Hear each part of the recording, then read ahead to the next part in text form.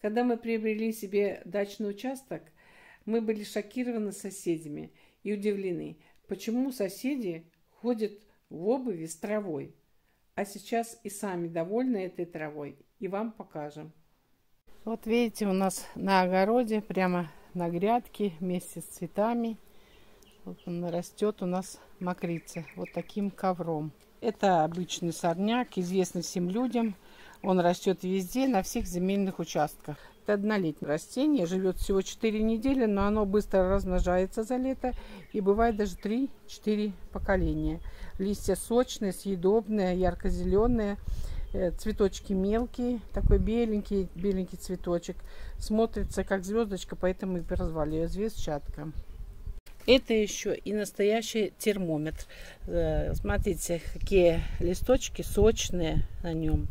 И маленькие-маленькие цветочки. Если они с самого утра, даже если светит солнце, э, закрыты, то значит сегодня будет дождь. Но сегодня у нас дождя не предвидится. Как видите, вот они все-все цветочки раскрытые. Очень ценное растение, хоть и сорняк. Вот, и мы сегодня начнем лечить пяточную шпору. Видите, как она прям таким ковром. И там под ней никакого сорняка больше. Я вот приподнимаю, видно, да? Вот он, целый ковер. Вот где корневая система.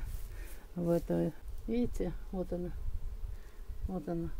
А, а стелится прямо по почвопокровности по этой вот таким вот ковром. Как. И вот этим мы и будем лечиться. Будем срывать сейчас. Мы лечим пяточную шпору. Я беру мокрицу, надеваю носки, на ночь прикладываю к своим пяткам свежие листики мокрицы и ложусь спать. Мой муж проще всего делает и практикует каждый день. И у него пяточки и ноги в идеальном состоянии. Вот он, мужик ходит по огороду босыми ногами, берет щепотку этой мокрицы, кладет ее в галоши, вот под пятку и одевает.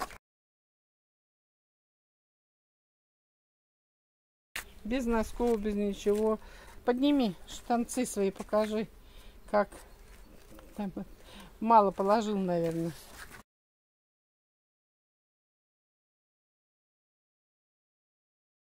Надевает обувь и идет работать в огород.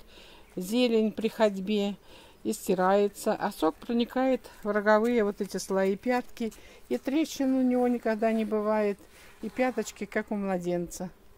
Отлично. Поэтому не спешите выбрасывать в мусор эту мокрицу. Используйте не только э, для лечения этого каких-то Да, оно уж быстро протирается. Ну, потом покажем, как она затрется, когда поработаешь.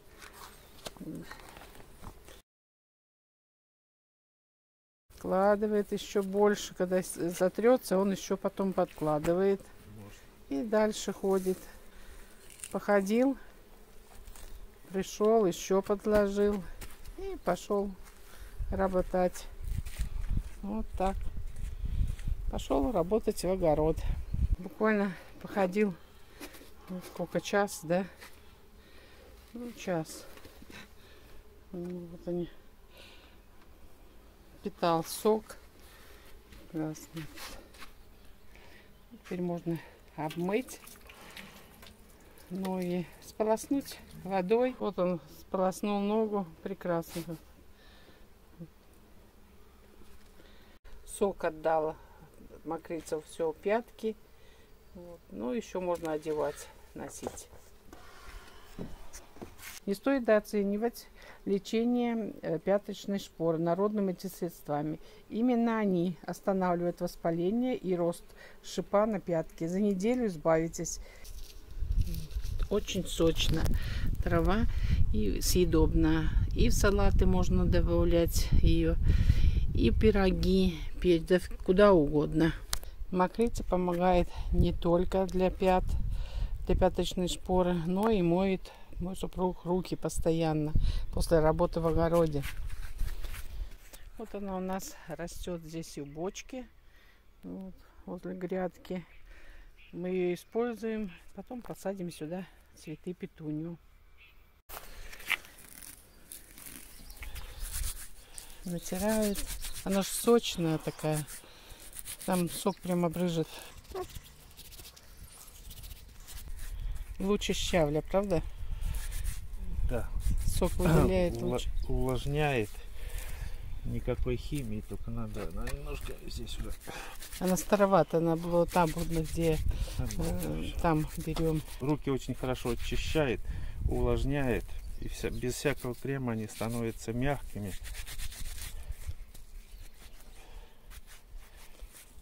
Осталось только помыть.